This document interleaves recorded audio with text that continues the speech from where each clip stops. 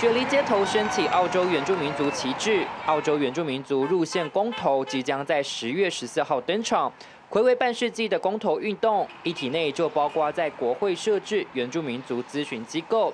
看似对原住民族权益有所保障的议题，这段期间却发生变动。This voice will be giving representations, which is advice to the Parliament and to the executive. Thus, they will be the, become the most powerful body in Australia, and it's an unelected body. It's a non-representative body. That's why I cannot abide by this voice, not for any um, other reasons other than that it will be destroying the very foundation of our constitution upon which every other law is based upon.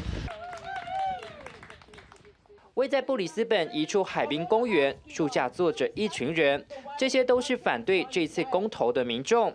他们质疑国会之声设立的法源依据，而反对这项公投的民众渐渐涌现。根据外媒报道，国会之声支持率已经从四月份原本有的三分之二，降到现在不到百分之四十。对于这样的转变，有学者认为，两派辩论中的错假讯息影响了选民判断。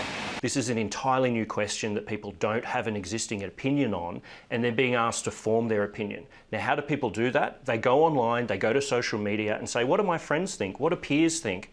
And that's the information that they're seeing that is false in many occasions, and that's been having a very negative impact on this debate.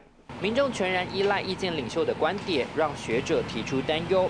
不过，同一派民众仍加把劲提倡理念，街头上举着大大 “Forty Yes” 看板，也发起传单。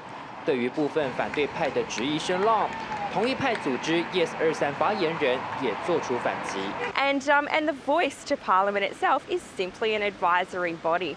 So you know to claim anything else or to be scared about it taking your backyard or whatever, an advisory body cannot do that. 双方人马为各自立场辩护。但其实，在国会内部，甚至原住民族议员之间，对于原民国会之声也有不同立场，而这对劳工党当局造成不小压力。总理艾班尼斯也积极出席同一派活动，试图唤起大众关注。不过，学者也点出，这次公投之所以民调翻盘。除了假讯息，也与各界关心程度不热络，以及同意提倡活动未能激起社会关注息息相关。至今民调数据摇摆不定，两派人马如何突破重围，仅剩一个多月的时间，格外关键。原视新闻二十五六编译。